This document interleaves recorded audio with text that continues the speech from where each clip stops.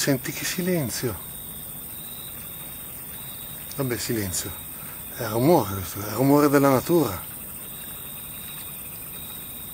E che profumo! Si sente l'odore dell'erba, della campagna.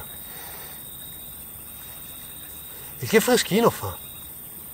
Oggi faceva un caldo che si moriva, ma veramente si moriva. Ecco com'è andata. C'è per fortuna una bella escursione termica tra il giorno e la notte, di più di 10 gradi. Purtroppo la notte, abbassandosi la temperatura, si alza l'umidità relativa. È inevitabile perché il, il vapore in sospensione nell'aria non è che sparisce. Io a casa non ho il condizionatore, purtroppo mia moglie non lo sopporta. E in questi giorni di grande grande caldo mi devo barcamenare in tutti i modi per risolvere e, e attenuare la caldazza che c'è. Allora mi è venuto in mente perché non condividere le mie strategie, per così dire, strategie con chi mi ascolta, per aiutarlo a risolvere lo stesso problema.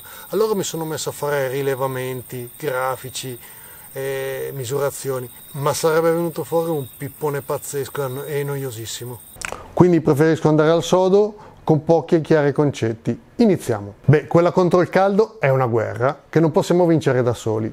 Per fortuna abbiamo però degli alleati, che sono il fresco notturno, la massa della casa, l'ombreggiamento, la ventilazione, l'altezza della casa per sfruttare la stratificazione e il nord.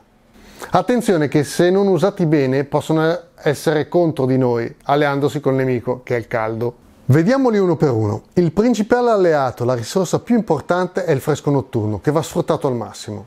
Anche nei giorni più caldi è una risorsa evidente. Anche qui in pianura, dove sembra faccia caldo costante, c'è un'escursione termica di circa 10 gradi, in montagna è un po' più ampia ed è simile a noi al mare. Ma come sfruttarla? Entrano in gioco le masse, le parti pesanti della casa che sono i muri, i soffitti e i pavimenti. Essendo densi e pesanti, impiegano molte ore a cambiare temperatura. È un po' l'effetto che c'è nelle chiese antiche che hanno i muri molto spessi, che sono sempre fresche.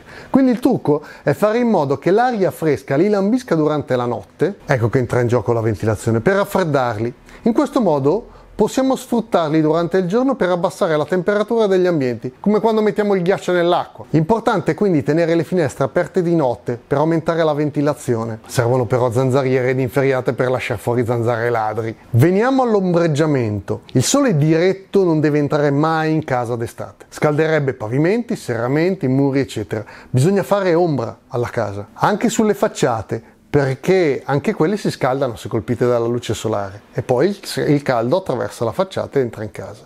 Il massimo sono gli alberi a foglia caduca perché fanno ombra d'estate con le foglie e lasciano passare la luce d'inverno quando, quando non hanno le foglie perché sono cadute. Ottimo quindi piantarli davanti alle finestre a sud per fare ombra sulle facciate ed evitare che il sole entri dai vetri. Alternative alle piante sono le tende da sole o gli aggetti dei balconi ai piani di sopra.